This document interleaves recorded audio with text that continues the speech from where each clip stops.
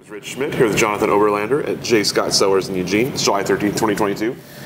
Well, I uh, grew up in Los Angeles. I was born in Minnesota um, and ended up going to school in San Diego. Um, didn't really know what I wanted to do, so I uh, studied business. I think anything you do, you know, you're going to need business with, and so I thought that was a good deal. I kind of specialized in finance, kind of thought about real estate development, and, and wanted to get into that and, and, construction.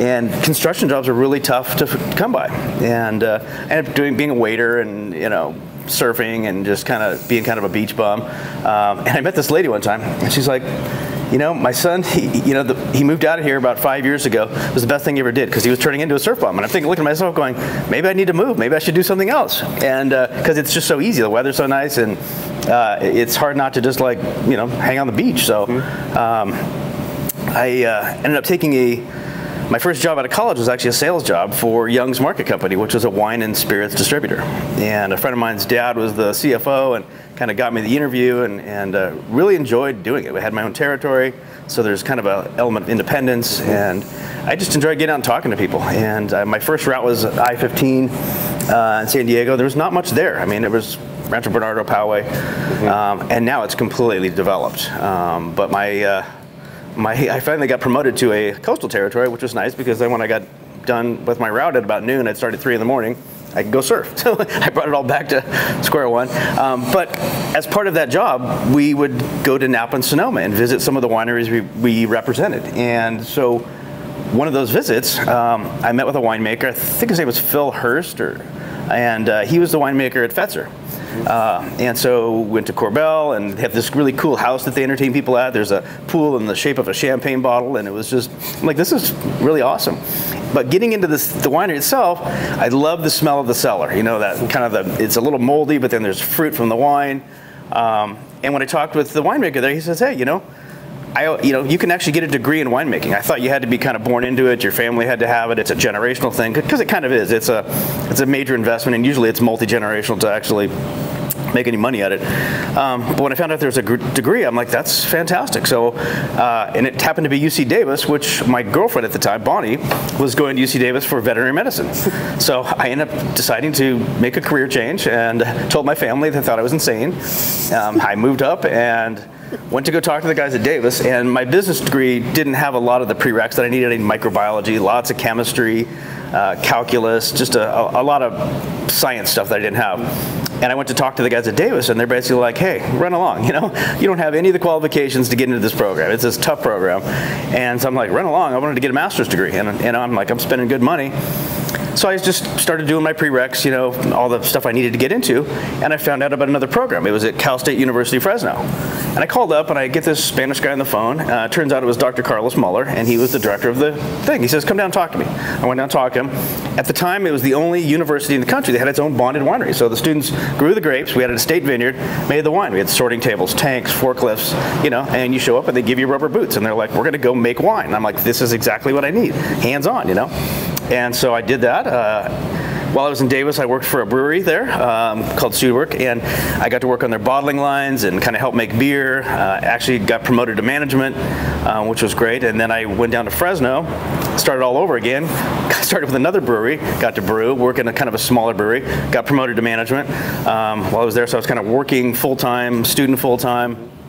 Um, but it was great because when I finally got my degree, uh, I ended up getting an assistant winemaking job right out of college, which normally you start as a hose dragger. You know, you start in the cellar and you kind of work your way up. But my wife and I, we love to go to Monterey, which was uh, just a couple hours east of Fresno, and get kind of escape the heat of the Central Valley. And we loved it there. And one of the times we were there, there was a uh, I think it was a Wine Enthusiast magazine, and the cover was this guy Ben Pon, who was this, uh, he was a Dutch billionaire, and uh, I'm just reading the article, very interesting. Come back, and there's a posting at the school for Bernardus Winery, for assistant winemaker. So I applied and somehow got the job. Uh, completely shocked. I guess because I had some management experience, I was going to be leading the cellar crew, um, had the hands-on winemaking. And um, I, I, just remember the interview with the, the winemaker. He was Burgundian trained. Uh, his name is Don Blackburn. And I showed up in you know khaki pants, work boots, and then just like a nice kind of you know, plaid work, you know, kind of button-down shirt. So it was kind of work, work-minded, but still kind of clean cut. And my interview was, let's go take a walk. And this guy walked at about a five-foot pace, and he was fast. And they had, you know, a 50-acre state vineyard, and he walked me through that entire vineyard, talking the entire time. He wanted to see if I could keep up. You know, could I could I have a conversation? And I remember him asking me, you know, if I was stranded on a desert island, what wine would I have? And I told him La Tâche because, you know, I love good Pinot. And he was a Pinot guy. And apparently, somehow between the walking and talking and the love of Pinot, um, we seemed to hit it off. And so I moved to Monterey and got to work for this beautiful winery. Um, they ended up building a really nice hotel in Carmel Valley. I thought it would actually be the place I worked forever because you know, we had a half a million dollar barrel budget every year, and uh, it was just a, a, great place to work. Uh, my wife, on the other hand, worked on the peninsula in Monterey, and in the summer, things heat up in the in the uh, Salinas Valley down around Paso Robles, and all that air rises, that hot air, and it sucks in all that cold uh, air from the Monterey Trench, and it's freezing and it's foggy. And so she was in the fog all day long, and she hated it. I was working out at 85, 90 degrees. When I came back into Carmel in the fog, I was like, I love this place. You know, this is exactly what I need. So. Long story short, we ended up. My, my wife wanted to buy a practice, uh, and she talked to this guy. Um, I said, just send him a letter, and she sent this guy a letter. Says, hey, I want to buy your practice. It was an all cap practice, and she really thought she wanted to do that so he's like, actually wrote her back, said, yeah, I'm thinking about selling. Let's go to dinner. So we go to dinner in Carmel, and it would happen to be a winemaker dinner. It was a Josh Jensen winemaker dinner. And so, and he had this, in his veterinary practice, he owned this little Victorian building, and downstairs, he and his wife ran the practice together. He was the doctor, she was the, um, the manager of the practice, and they had a wine cellar in their little shop. So we're talking wine. He loved wine. Met Josh, which was you know great. Uh, he's a big Pinot guy. Just passed away recently. Um, but uh, he says, let's let's let's come in, work for me, and we'll talk about selling the practice. So it's funny because she always heard he was kind of a hothead, throw throw things in surgery, all this other stuff. They got together. Turns out they're two peas in a pod. They're both very like meticulous in how they do things. Born on the same day, uh, and they really just kind of hit it off. And they were loving the practice, and everything was going great. And we were on our way to Yosemite for a uh, a veterinary conference we got a call that he wasn't feeling well. Um, and earlier that day, we uh, just started to remodel on our house, and they had ripped out the entire roof. And I had to catch this wild cat that my wife had brought home and kind of adopted, and I could not do it. And I finally corralled the cat. It turned around, bit me in my hand, and so my hand was the size of a softball as we are driving one-handed to, to Yosemite. So when we had to turn around, I was like, you know, it's probably better. This is just, I mean, I'm feeling terrible. And well, we got back. It turns out uh, the doctor had had a heart attack in the clinic, hit the deck, age 50, never recovered. He was on a stress, uh, had a stress EKG the previous day. The doctor said, "You're fine, go home." Uh, so he died, and so my wife immediately jumped in to try and keep the practice going. Um, we had two little girls, three and one. Uh, she was doing about 100 hours a week, and the lady, his wife, was very upset, and she, you know, understandably, I mean, uh, she kept thinking that you know the thing was going to fail. She kept asking how many clients did we lose today to the staff, and the staff's like none. They're love, loving body, and I think she didn't like that. That, and she kind of felt like my wife. I think was kind of coming in trying to take advantage, and that was not the deal at all. But she made it really tough for my wife to work there. And I says, you know, we just don't need this stress. We got two little kids. Um, let's let's move. And so we looked at uh, Paso Robles because her mom lives in San Luis, and we looked at Oregon because her sister was up here. And all of a sudden, I saw this assistant winemaking job in Oregon. I said, hey, let's uh, let me go interview for it. So I uh, went up, had an interview, came back, and we had gone to Chicago, I think, to visit her family, I, and I told an agent to let's sell the house because I thought I figured we're just going to move regardless. I hadn't even got the job yet. We came back, the house already had an offer on it. We hadn't even received confirmation that I got the job up here, which then came a couple days later. But we were already at escrow, and so we were already like ready to move. Um, but I just remember coming up and interviewing, and I, I, felt that Eugene was beautiful. I love the winery. I ended up working at Silvan Ridge. Uh, it's a beautiful winery out in the country. I remember walking on the bike path here in Eugene, and people would smile and wave at you, you know. And I'm from Los Angeles, you don't do that, you know. It's like, you know, you keep to your own, you know. And so it was just very friendly and welcoming, and was very excited to move. And my wife's from the East Coast. She's from Maryland. And so she didn't really like the brown in California, and she loved the green up here. And so we came up one night, and I wanted to show her the place before we, you know, to look for apartments. And we flew into Portland. It was 100 degrees at midnight when we got off the plane. And we ended up getting some hotel kind of by the airport, and I'm like, what are all these kids doing out here hanging by the front desk? I mean, late at night, it's really weird. Turns out they were like prostitutes. You know, we was in a really bad area. so, I, know, I'm like, I didn't know any better. So I, uh, but we came down to Eugene, really enjoyed it. Ended up finding an apartment right away that would take our cats, and moved in. And then a month later. Um, there was this really beautiful yellow house on the way out to Silvan Ridge. I loved it. It's very kind of colonial and pillars, and it's just beautiful property. And I just every time I went by it, I was just in love with it. Well, we were looking at houses, and the agent says, "Well, I've got one that's not on the market yet. I want to show it to you." It was next door to that yellow house. You couldn't see it because there was a bunch of trees there, but beautiful house on acreage. Uh, and it, it, was north and south facing. It had a big three-quarter acre pond and a field that was perfect for planting grapes. I'm like, I love this. This is what I want to do. I convinced my wife to do it. She was not really on board, didn't have sidewalks. She wanted to push her double stroller. So she reluctantly agreed, and we bought the place before it ever even went on the market. Um, and my intent was to plant grapes, but before I knew it, I had two teenage daughters, and the winery was growing, and so I've never planted anything there. so, but um, I did manage the vineyards at Silvan Ridge with my own tractor. They have a, a five acre plot there, so I did do some farming, and, and I, I enjoy that. I enjoyed driving the tractor component of it. Um, one of the things about winemaking is that it's you do different stuff every day. Mm-hmm. You know, sometimes you're doing bottling, or sometimes you're in the lab doing chemistry. Sometimes you're doing a winemaker dinner or a charity golf tournament, and, and so it's really it's varied, and it's one of the reasons why I love it because it's just you kind of live by the seasons too. You know, in the fall we're really busy with harvest. Things quiet down. You can really kind of enjoy the holidays with your family. In January, you relax and kind of recoup because of the you know the long days at harvest and then springtime comes again, and it's like you get a new chance to start all over again, and it's just it's fun, you know. And summers are great too. I, one of the things I love about just being a winemaker, and not a vineyard guy, is the vineyard guys are super busy in the summertime. And honestly, you know, about the third time you whip yourself in the face with a grape cane, the romance goes out of it, you know, very fast. Um, but winemaking, you can go vacation. So I mean, uh, you know, the distributors are really selling wine a lot uh, during the summer, and so you can go to Europe for a month, come back, and you know you're still making money, and you're playing during the best time of the year, and then you you know you relax in the winter. So.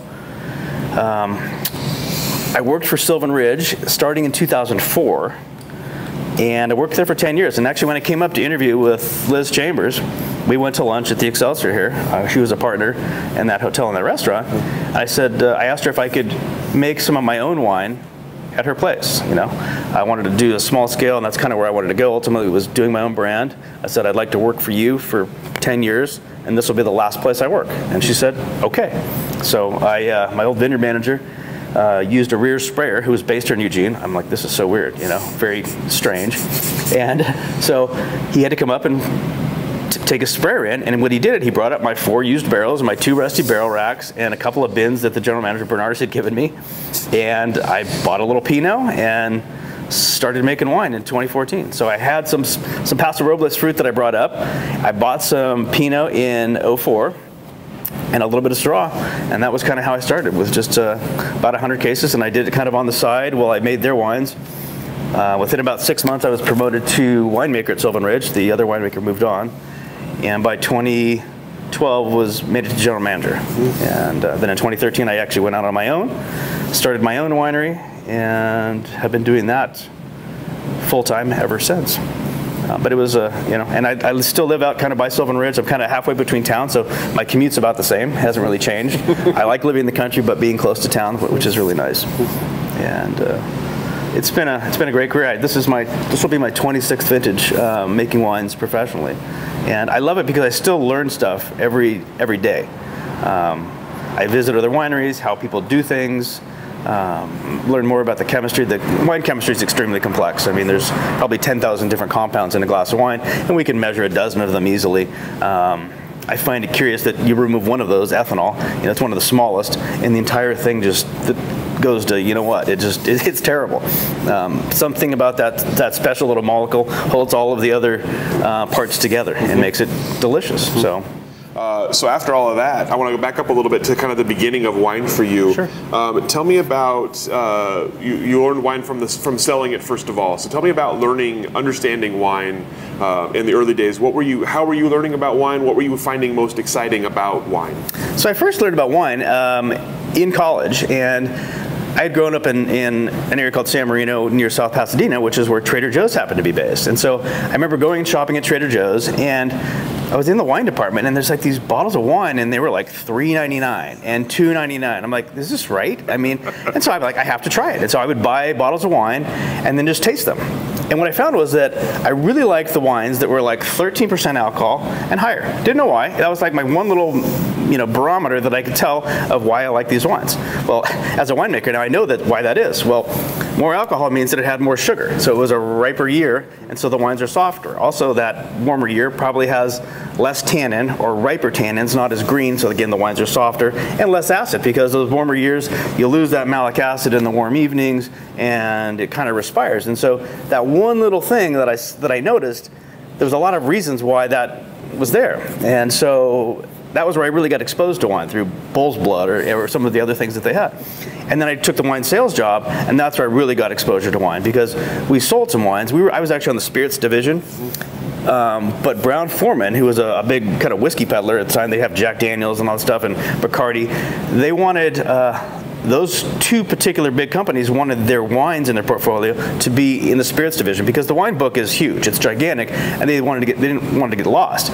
But in the spirits book, you know, we only had a few things. There's a few Bacardi lines, but Bacardi owned Asti Spumante, and they had uh, uh, Bolla wines and. Um, um, some vermouths and things, and, and Brown Forman had Fetzer and Korbel and all these other uh, big brands, and so we were able to focus on that. We actually took those wines from you know obscurity to really uh, big things. In fact, our San Diego sales team was uh, the top sales team in the state, uh, which normally Orange County was because it's you know that's a big a big market. We didn't have nearly the the money, but we were really good at merchandising, good at selling. Um, I remember I had this one Vons store. It was like a shrine to me. There was an entire end of Bacardi and an end of Fetzer, and then just all of these other spirits things around. You know, you walk in and everybody knew I owned that store. You know, so.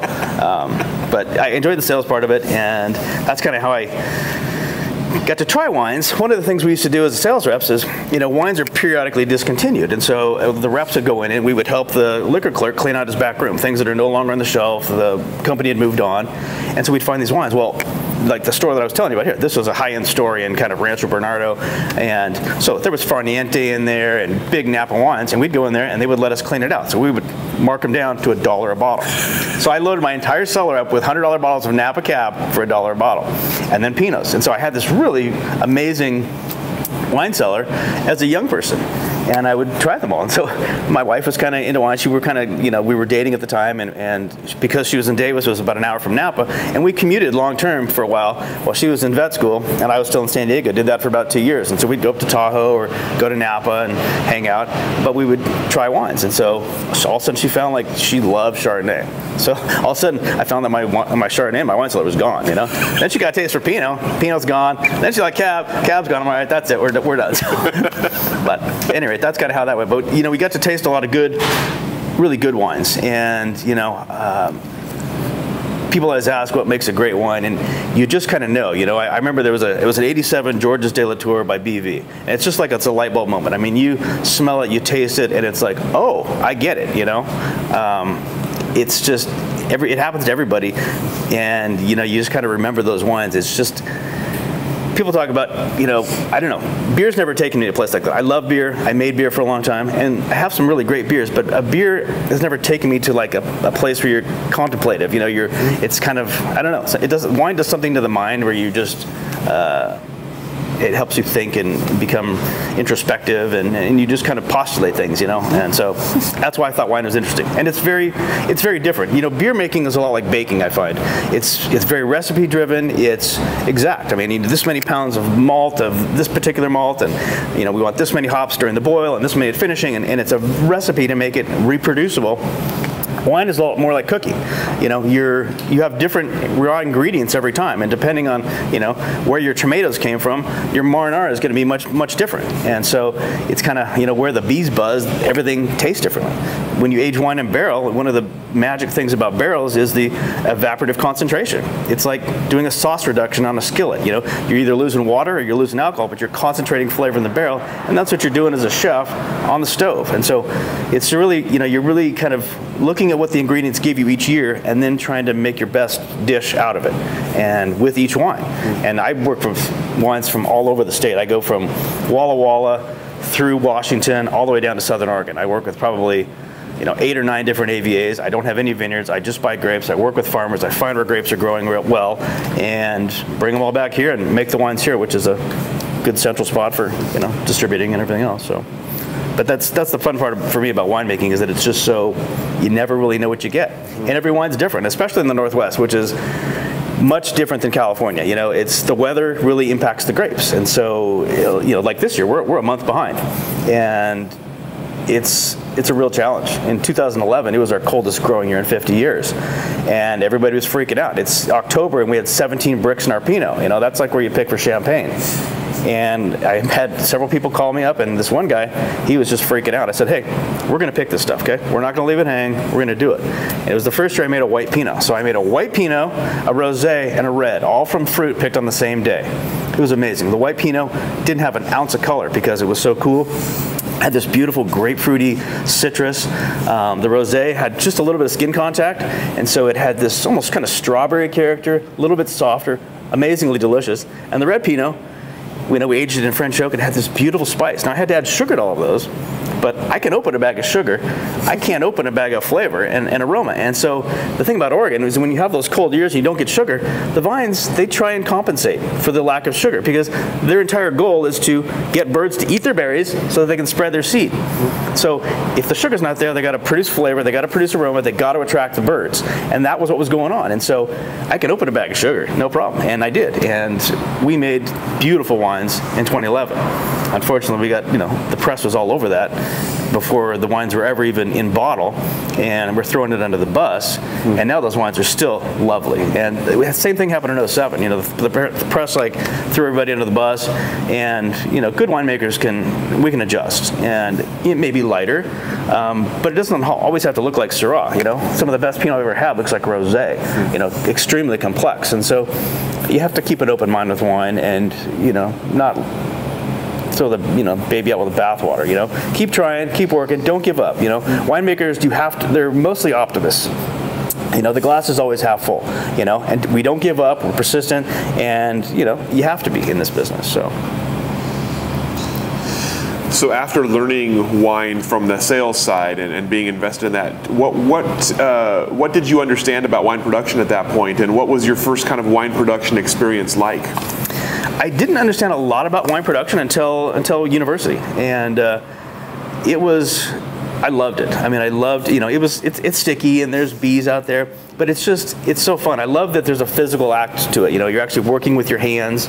Um, one of my first jobs out of college, I worked for a. Uh, I met this guy. He was a plumber, and uh, he was actually used to do lights and sound for Motley Crue and, and, Black and Blue, but his uncle had passed away, and his aunt asked him to come work this plumbing business. So in South Pasadena, there's a lot of big old homes and things, and so one of our customers was Father Mulcahy uh, from MASH. He would come in in his old scrubs because he liked to do his own gardening, and David Lee Roth's dad, you know, Dr. Roth would come in because he liked to do his own thing too. It was like kind of relaxing for these guys, and you know, the Motley Crue bus would pull up and back, and those guys would come in, and you know, it was it's funny, but uh, I learned how to, you know, refit an entire house in copper pipe. I installed the laundry room in my dad's house, you know, when my folks got separated. And so I learned a lot of that, but I still use all that stuff in in in the winery. I mean, there's plumbing going to all your tanks, all, all your hydraulic or your glycol lines. So I use the, the plumbing, I use the business, um, but I, I loved the production aspect of it. I loved, you know, smelling the wine during fermentation and just the act of pressing the grapes. And when I worked for the Burgundian winemaker in uh, Monterey, uh, he liked to press the caps with your feet. So we would we would stand in these sterilizing solution on our legs, and they would go up there with two by fours. We'd actually punch the cap. So in grapes, all of the color is in skins, and in France they do it in you know kind of chest high things. They like to wade through the mm-hmm. the tanks because they can feel cold spots in the must, and, and it kind of helps them gauge the fermentation and how it's moving along. And we would do it in uh, you know big eight ton fermenters. I mean, you could let go and the thing would hold you up in the air, uh, which is, but it's you know, it's like a warm, bubbly cherry jacuzzi. It's you know, it's 96 degrees and it's just you know, it's a lot of fun. Uh, again, it's it's very um, sensory uh, sensual. I mean, wine you're, you're using your eyes in terms of looking at the wine and, and the ripeness of the fruit and the colors of the seeds.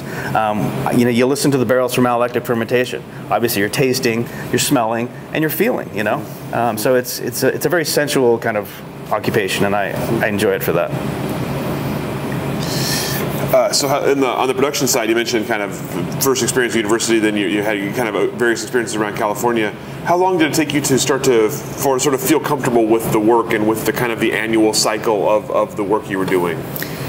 It's uh, took a number of years. I mean, uh, you know, I, you get into the kind of the production mode, but you're constantly learning. I, I got a lot of expertise working with barrels and um, just kind of maintenance maintenance of barrels. We had a lot of large oak tanks and uprights, and kind of uh, maintaining those, and kind of the impacts that they created on the wine, the different size of the vessel, and how it you know accelerates or decelerates the aging of the wine. Um, so that was very interesting.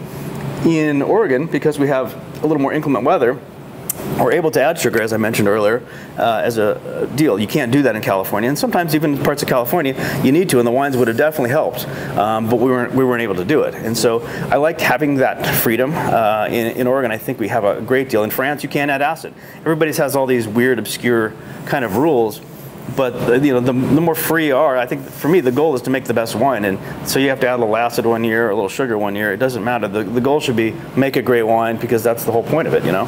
Um, if you why bottle something that's substandard? So uh, but it, in oregon i really felt like I was able to have do anything I wanted. I was just like, you know, it was like a kid in a candy store. And when I first moved up here, I was like, I'm, you know, I was working. We had a, a 50 acre Bordeaux vineyard because the Mr. Pon, he was a Dutch billionaire. He loved French Bordeaux, so he planted all the Bordeaux varietals about eight miles as the crow flies from Big Sur, and we had this big beautiful pond, you know, with a one hole golf course. We'd go out there and shoot trap over the thing, and it was fantastic. But I uh, I love Pinot, and I was excited to move to Oregon for Pinot. But I was kind of going, man, I, you know, I still want to make cab. I want to do all these other things. And all of a sudden, I get here, and there's cab in Oregon, and there's Syrah in Oregon, and there's all kinds of stuff. And in fact, J. Scott, we've made Portland Monthly. They do this 50 best wines in Oregon.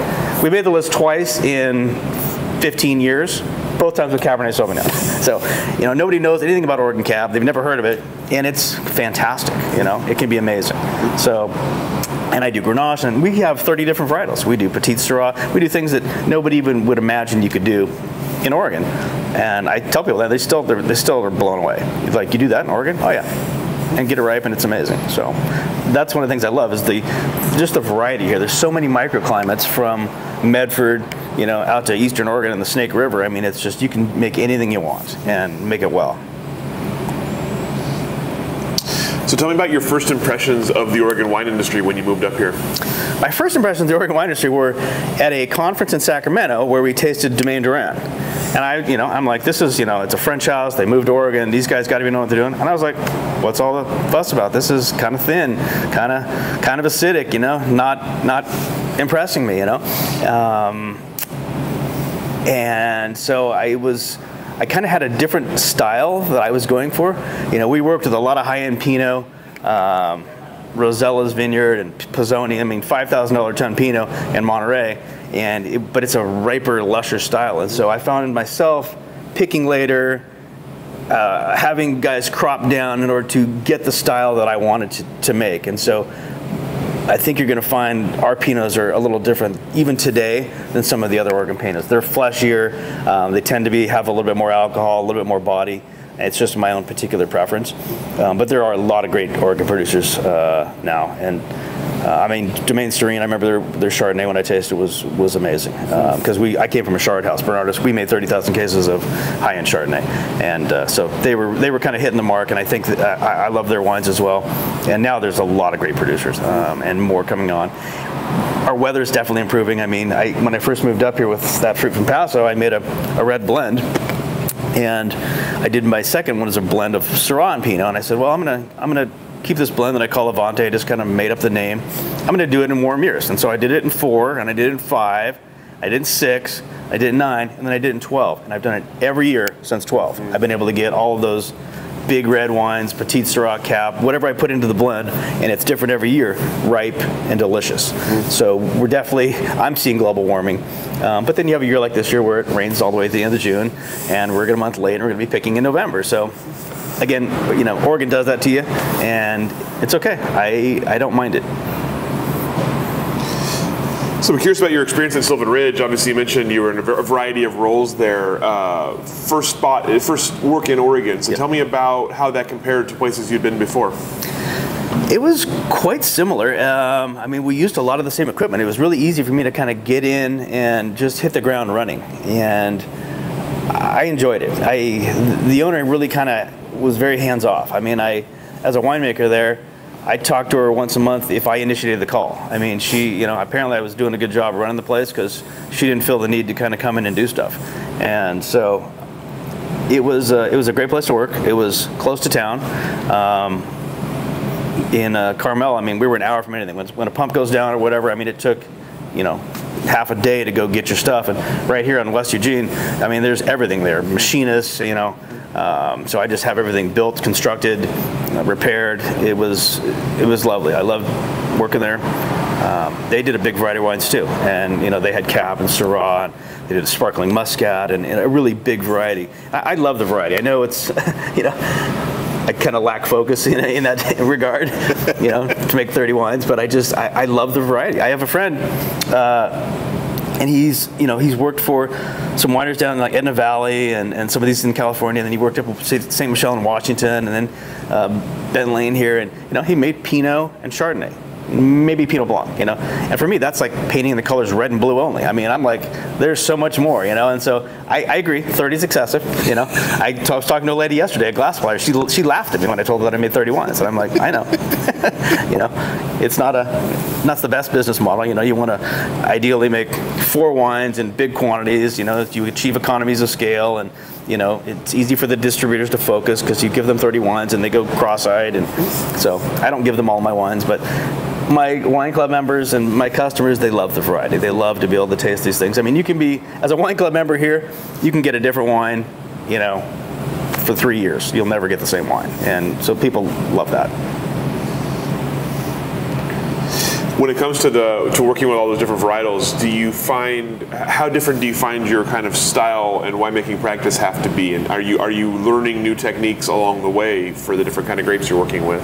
I generally like to let the grape kind of express its kind of own typicity. You know, um, you know, Cabernet has kind of a uh, can have a, a, bell pepper character to it, and and, and Cab Franc even to a greater degree. Um, Albarino has this lovely kind of sometimes grapefruity citrus during fermentation, and then it kind of transitions to tangerine and blood orange. And I really kind of let those um, kind of showcase themselves. However, that being said, I always look for balance in the bottle, and so I don't want, you know, it, it, you have to balance um, alcohol and residual sugar with acid and tannin, and when they're balanced, the wine is amazing. But if one of those things is too high, you know, it's like the tuba player that's playing too loud. That's all you hear is the tuba player.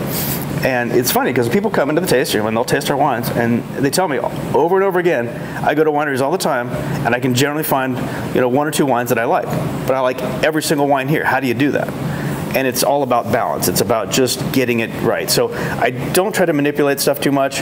Um, all of the whites are done in stainless steel. I don't, you know, put those in oak because they don't need it. They've already got the aroma. Chardonnay doesn't have a lot of aroma coming in, so I barrel ferment it. You know. Um, but to do that with Viognier, something that's perfumey, it's like you know a woman going out and buying a, like a little black dress and throwing a trench coat on top of it. I mean, you're just smothering it in just toasty oak, and you really want the pretty, you know, to kind of come out. And so I, I let the whites stay pretty. You know, Chardonnay needs it, um, but I even the the reds, I don't over oak them. I try not to. I, I want you to get the texture of the oak and the feel but I don't want it to taste like you threw an old stool in the thing, you know. So it, again, it's balance. It's just harmony, and, and that's the goal. Uh, don't always hit it.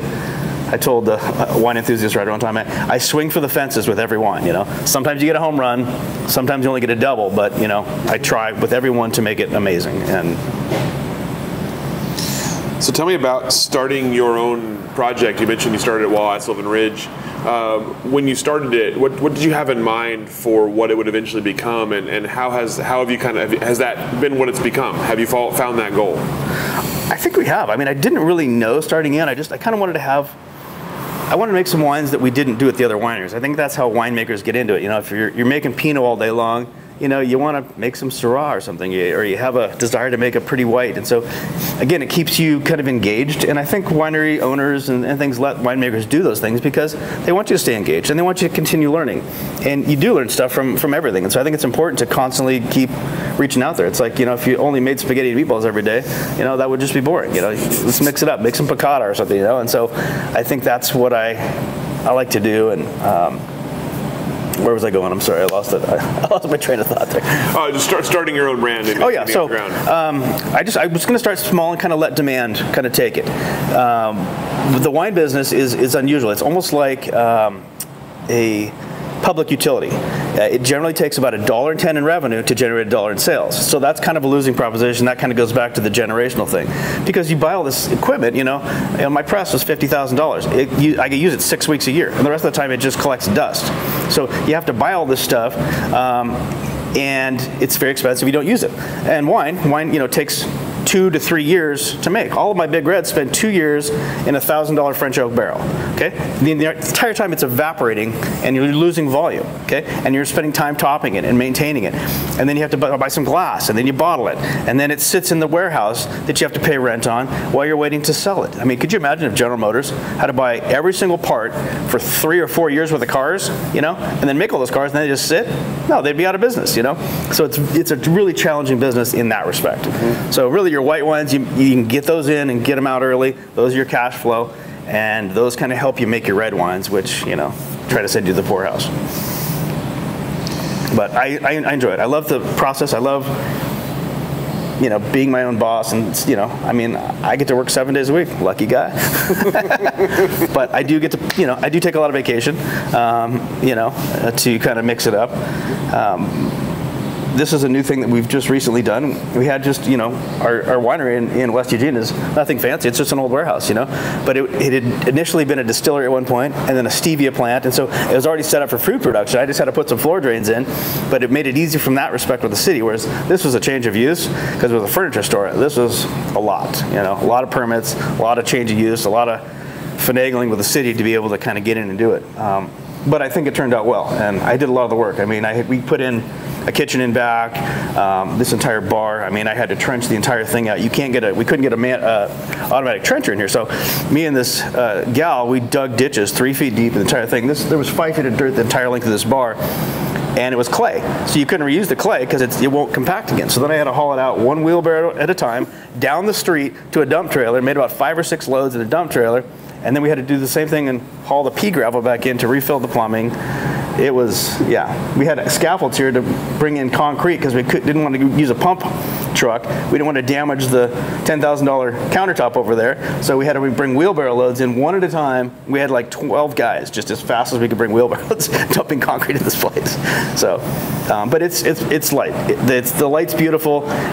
It's great having a kitchen to pair some food with your wines people love the space. I mean, it's just it, it feels good, and so it, has been nice. It's been kind of a, a highlight of the, the process. What made you decide it was the time to do it? It's funny because actually, when I was at Silvan Ridge years ago, this little section here was for lease. There used to be a wall here. And I, am like, that's a cute little thing. I could do a little tasting bar. It's kind of cool because you could set tables up here and kind of look out the window, and we'll put a little staircase. And I talked to the plumber. He's like, it's gonna be about six grand to get plumbing to you, you know, because it's over from the bathrooms over here. I'm like, six grand. And I was like, we were still only making a couple hundred cases. I'm like, I don't think I'm ready for that, you know. And so I let it go. And so then Modern took it over. Now they had the entire space. And one of my guys who was working for me uh, at the tasting room, he's actually uh, the director of the Lane Arts Council, but he loves wine and he would come and um, pour on the weekends. Saw the space for sale, uh, for lease, and he says you should go check that out. Uh, so I went and talked to him and walked in here, and I was like, "Yep, got to do it. It's a lot of money, but I think we're ready." And so we did it. And my intent was to keep the winery open Fridays and Saturdays, which we, we're currently doing, and then open this place on the west side to capture people over here in town that didn't want to go to the West Eugene.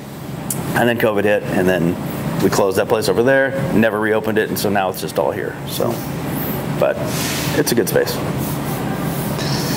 As you were starting your brand, and you mentioned you kind of it was kind of you wanted to do a little bit of everything. You wanted to find all. Tell me about finding grapes. Tell me about finding vineyards and, and people to work with, and starting to kind of build your portfolio of of all these different kinds of wines.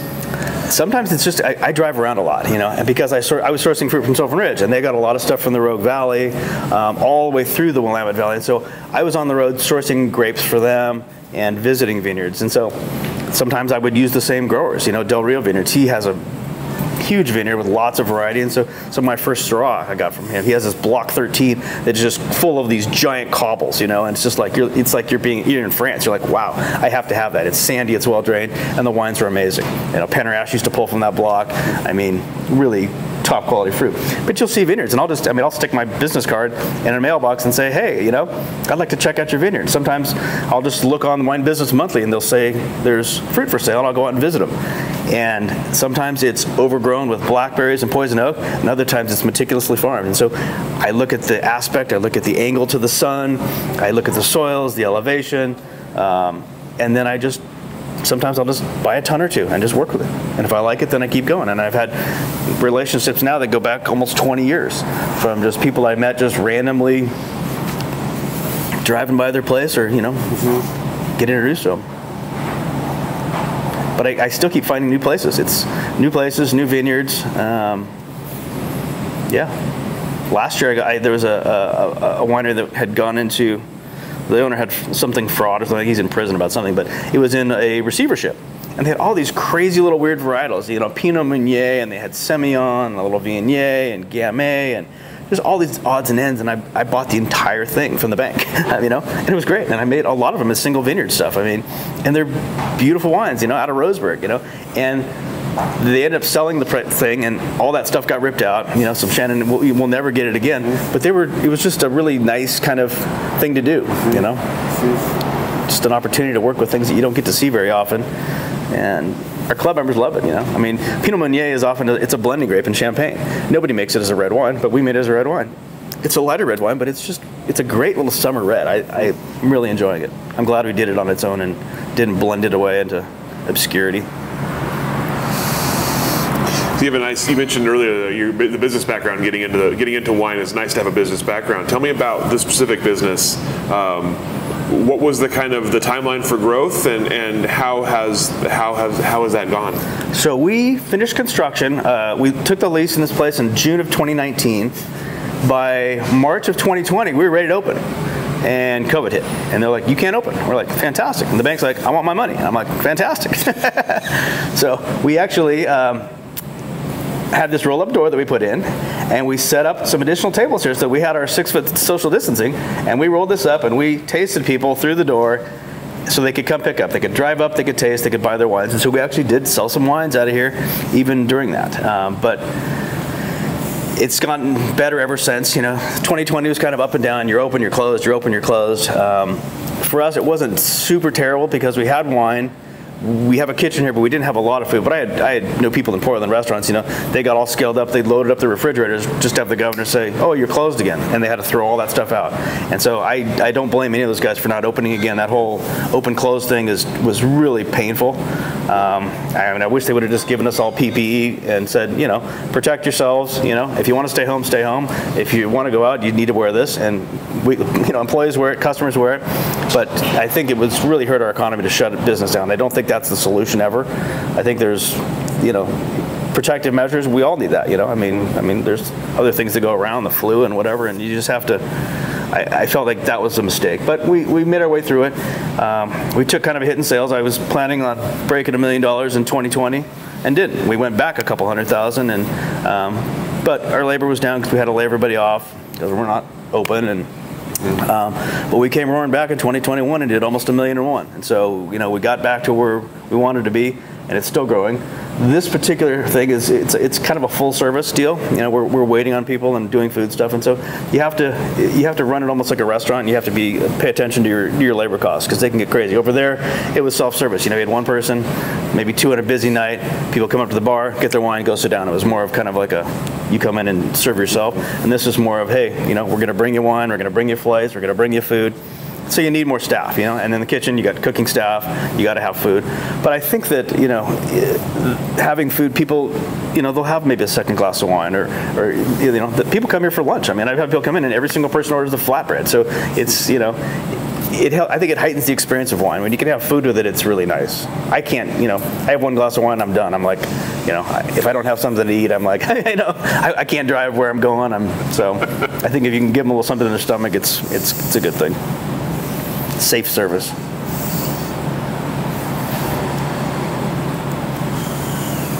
I had a question in my head and I just lost it.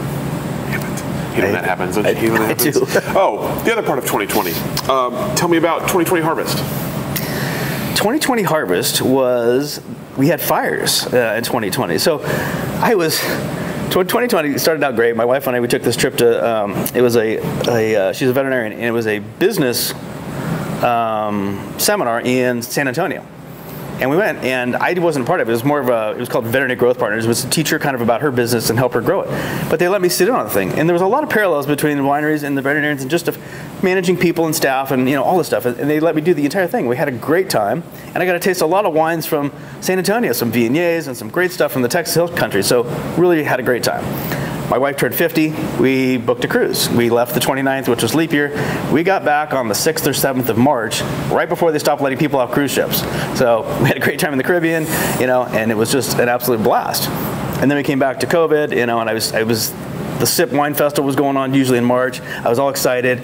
There's a Cannon Beach wine walk. Well, they canceled SIP. I was like, oh, and then, but I still went to Cannon Beach. I drove all the way to Cannon Beach. They let us be open the first night, and then they closed us down the second night. 11:30, they said, "Pack up, go home." Governor won't let us stay open. I'm like, okay. And so, it was frustrating to me, but we really tried to just kind of like I said, stay positive. You know, we'd take hikes at Spencer Butte, and uh, we have a little condo in Bend, so we'd go over there. And so there wasn't much going on. So we'd have a picnic in the park. We'd go get a couple beers and sandwiches, and you know, eat in Bend and go ride our bikes. And it seemed like every time we went to the coast or to Bend, the restaurants were open because it was county by county. So mm-hmm. I couldn't go out to eat here in Eugene, but I could go out to eat over there. So we'd go over there and we'd go out to eat. And so we actually kind of, you know, it wasn't terrible. Um, and a friend of mine, we like to sail a lot. I, I race out at Fern Ridge, but a buddy of mine, um, we go charter sailboats and we go cruise in different parts of the world. He's like, let's go to Turkey. I'm like, okay, let's go to Turkey. My wife's like, we're not going to Turkey, you know? I'm like, yes, we are. We're going to go sail in Turkey for two and a half weeks. So we left in like end of August, end of August for the first two weeks in September, and we. Uh, flew from Eugene to San Francisco, and my buddy just he sold his company here, and he used to sell helicopter uh, repair parts and stuff like that, and tools, and sold them worldwide. You know, and so he has um, he had millions of travel miles.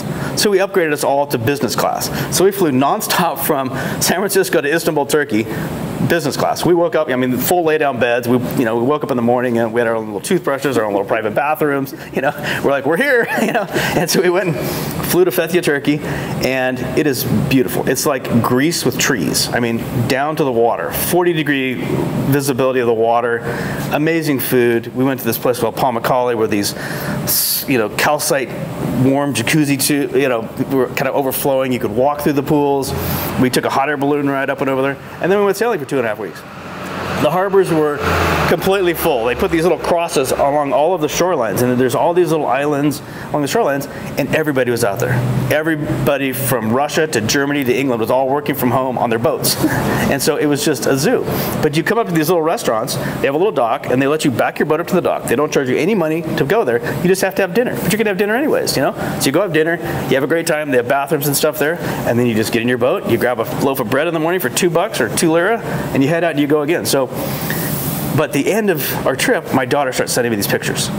Armageddon. You know, there's like it looks like your planet Mars. Everything's red. There's ash. There's fire and we're just she was like we have like five cats because my wife has all these rescues. My daughter had like all the cages lined up. She had the family photo albums. And she's 17 and she was freaking out you know. One night she just watched a scary movie with her kid with her friends. And just as her friends left at one o'clock in the morning the power went out. So then she can't see anything. So she was she was freaking we were freaking out for her. Then we couldn't fly back to eugene because the fires were too bad. So we ended up routing to san francisco then had to go to portland somehow made it back here. But got back ash this thick at the winery. I could not believe it.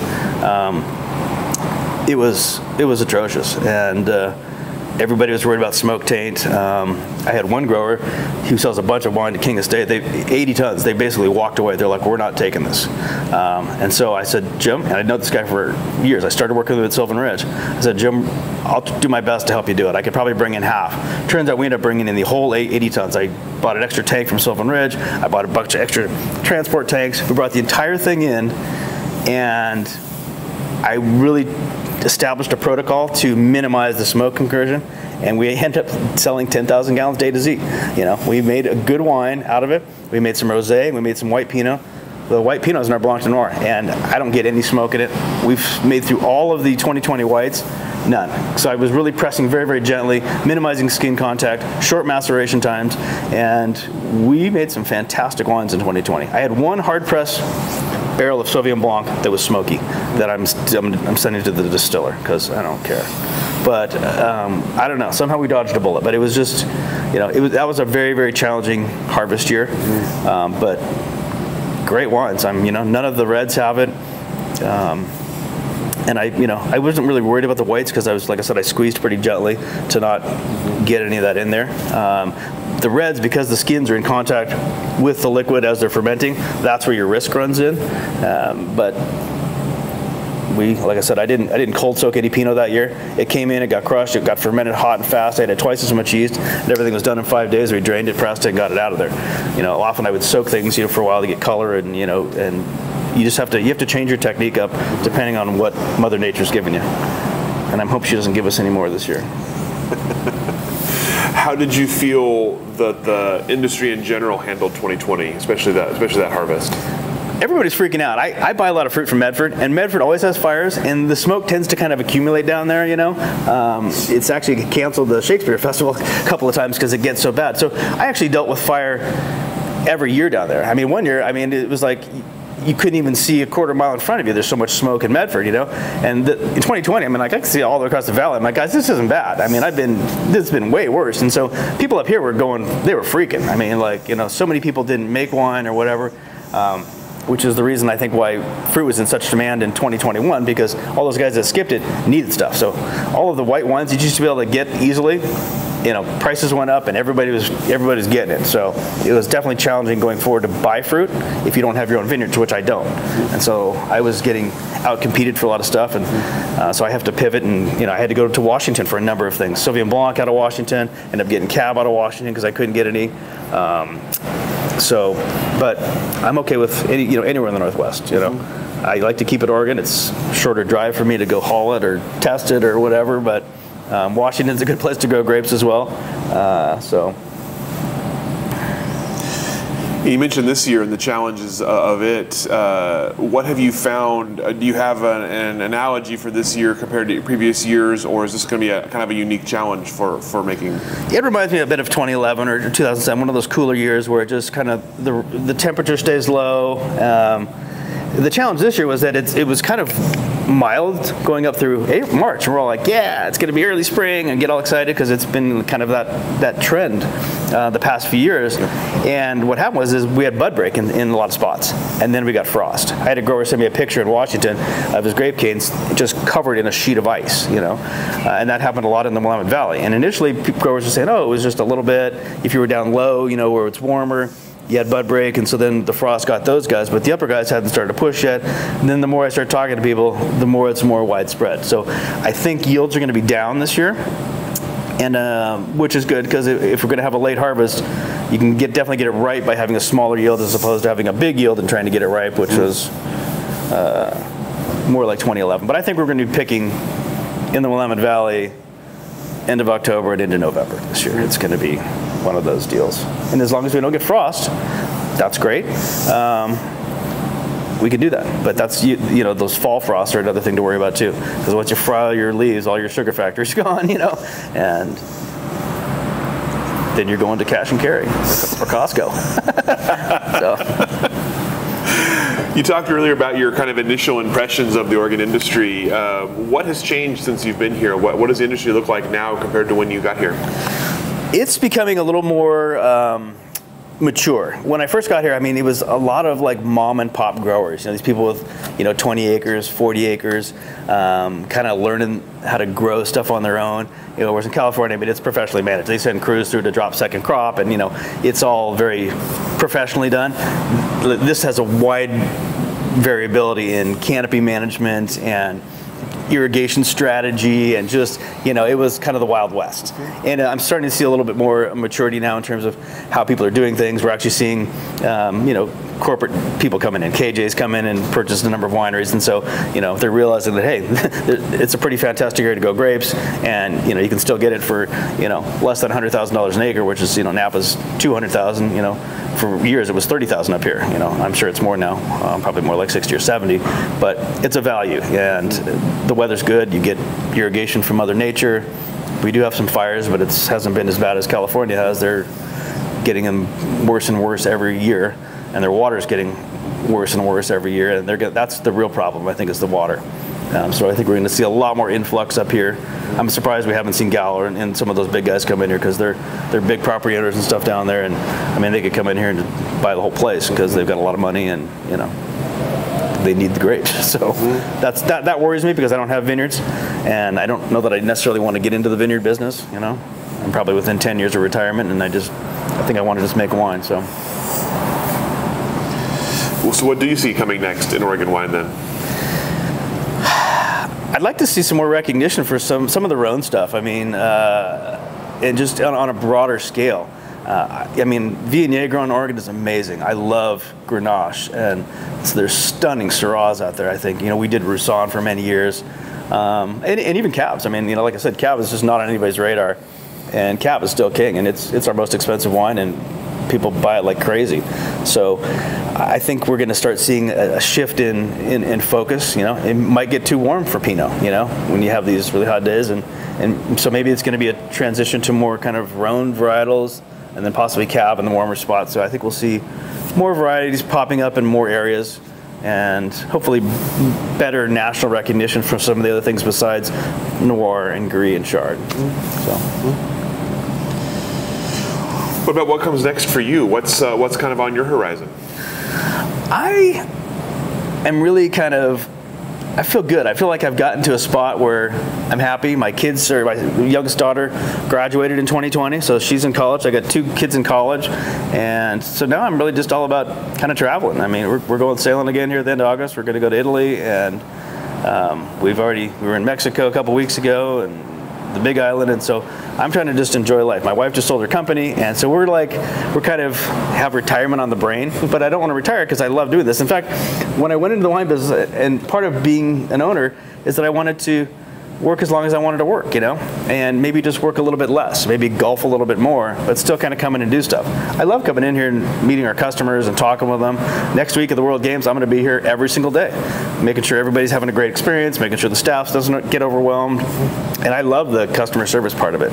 Um, so um, it's hard for me because I, I love the winemaking it's it's almost two full-time jobs. I can't be everywhere at once and it's like I'm trying to split my time really can be exhausting. But I'm just, I'm really kind of enjoying life now. I'm just trying to, you know, ride my bike more and just kind of enjoy the fruits of our labor. My wife, she, you know, she worked for 26 years building her practice up.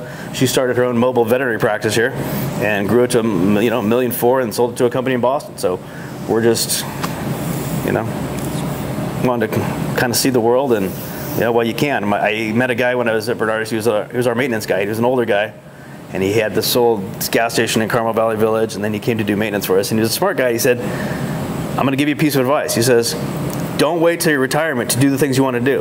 Do them now. Because when you're retired, you're going to be tired and you're going to be old and things aren't going to work and you can't climb the pyramids and all this stuff. He says, go now because you never know when your number's up. And so from that point on, I've always been kind of doing this. And coming to Oregon, you know, I, I, love living in California. The weather's nice, but I was always house poor. You know, always trying to keep up with the Joneses.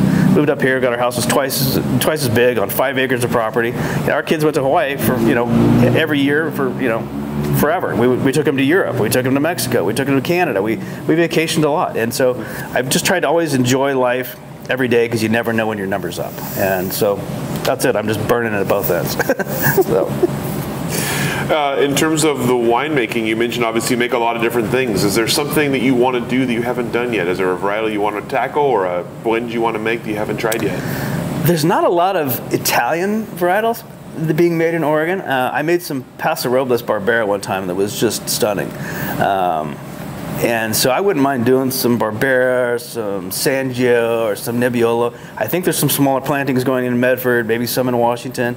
And uh, I, I like those varietals, and I think they're unique. And you know, again, I like to show my customers something new, kind of get them out of their comfort zone. You know, you know they always come in, they're like, "I want a Chardonnay." I'm like, "No, you don't. Let's try try this." You know, and so I give them something else. And so um, people are always wine's weird because people, are, you know, a lot of people are intimidated by it. You know, in terms of ordering it or whatever. And so I always just try and throw something at them that I, you know, just to have them try it and give them an eye-opening experience. And so that's part of the reason I make a lot of wines is that it's just there's a lot to know, you know, and I like variety. On, that note, you mentioned uh, customer base here. Tell me how the Eugene kind of wine scene has has evolved while you've been here. What are your customers like now, uh, and uh, sort of what what are they looking for as the next thing here? Well, I started my winery in West Eugene um, because I really, uh, after working out in the country, I loved. I worked in the country in both places, and, and you know, in California and here. I love the idea of city water. You know, I mean, some of the stuff that we pulled out of the wells out in the country. I mean, it's gray and bubbly and smells like volcanic rotten eggs. You know, I mean, it's tough. You think Oregon, oh, we get all this water and it rains a lot, but it's a very volcanic environment. You know, and we have them. We're surrounded by them, and the water can be crazy. Our, our pediatrician lived up the street from us. I remember they had us for dinner one night, and I could not drink the coffee because it was so salty. You know, our water is beautiful. It's sweet. We've got three little. Uh, uh, um, what am I trying to say? Springs, you know, um, on the property. And so our water is fantastic, but being able to come in and have city water, it takes a lot of water to make wine. So to have good city water, city sewage, you don't worry about septic, um, it was a really nice thing for me. So my winery was an urban thing, and it was kind of an interesting deal. You know, not a lot of places were doing it. A few were popping up in San Francisco, but it was really practical. You know, it's like you can order Chinese food at Harvest, you know, and order pizzas, and it's warmer and lighter. I mean, I can I see the Target sign from my work, you know, and so just, you feel like you know when it's late at night, you don't feel so weird because you know, like I said, you see Target sign. When you're out in the country, it's dark and it's cold and it's you're raining and you're crushing fruit out there and it's just you're covered in your slickers and it's just it can be kind of miserable. This just feels a little more civilized. Um, and that scene has really kind of blossomed. You know, Capitello Wineries down the way. You know, Ray makes fantastic wines. He's doing some stuff for Territorial. At one point, I actually was looking into buying the building in Territorial because I, I really love the whole urban winery thing, and it's it's cool. And now there's distilleries popping in and Alesong Brewing, and I had some friends up from Los Angeles, and you know we did a little pub crawl, you know.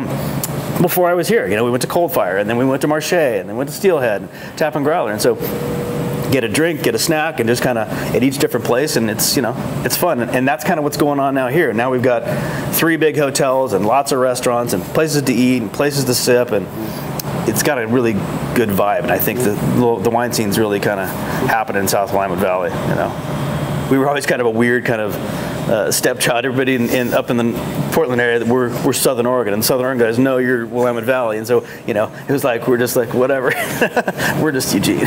so, but we're getting some respect now. All right. That's all the questions that I have for you. Uh, anything I didn't ask that I should have? Anything we didn't cover that you would have I liked think we covered the whole gamut, so that was fantastic. Good, excellent. Well, thank you so much for your time, for your candor, for hospitality in this amazing space, and go ahead and let you off the hook. Appreciate it. Thank you.